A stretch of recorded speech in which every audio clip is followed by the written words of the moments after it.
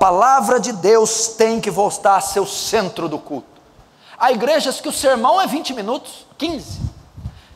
Há igrejas que a parte mais insignificante, irrelevante, é a parte da pregação.